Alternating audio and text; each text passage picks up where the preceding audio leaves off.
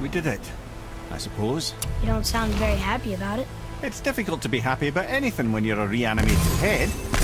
I'm grateful we were able to set the Valkyries free. But so much of this could have been avoided, if only... You said it yourself, Head.